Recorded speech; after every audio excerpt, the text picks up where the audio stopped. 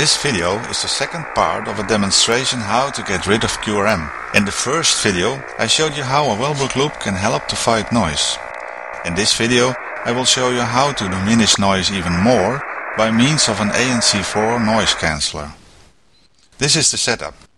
An FT2000 at 40 meters with its IF output connected to an RTL stick running under HD SDR and of course an ANC4.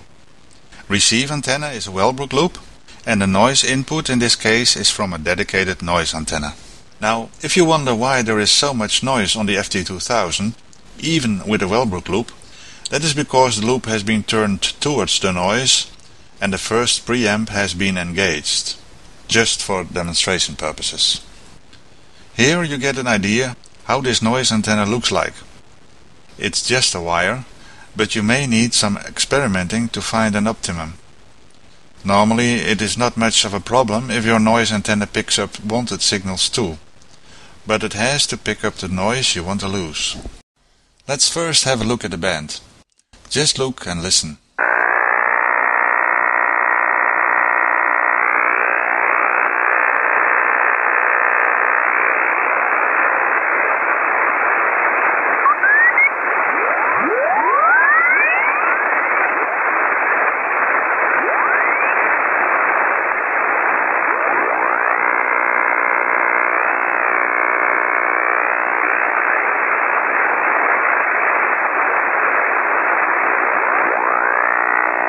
And here is how the spectrum looks like.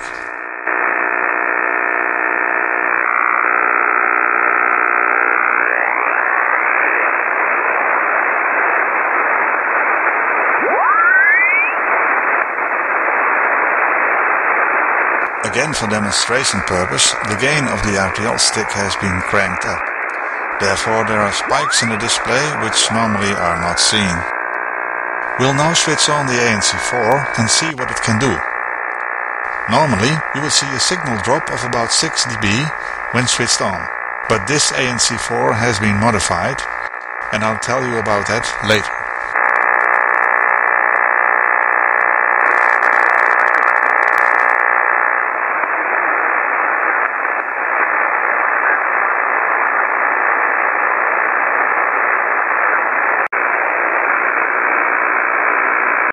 Start tuning here.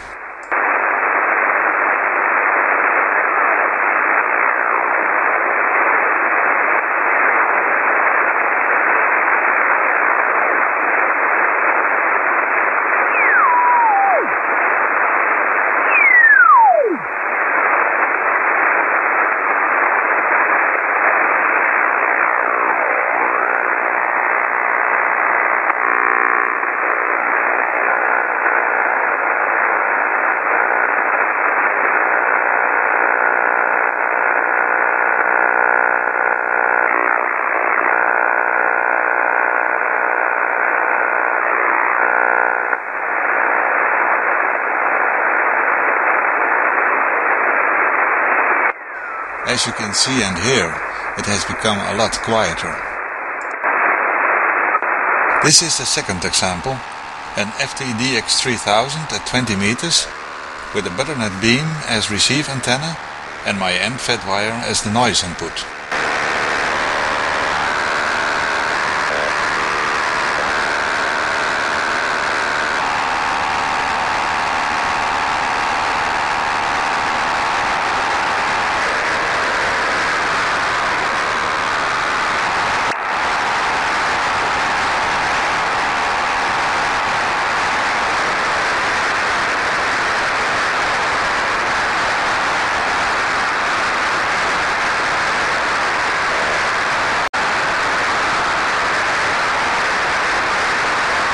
Switching off the ANC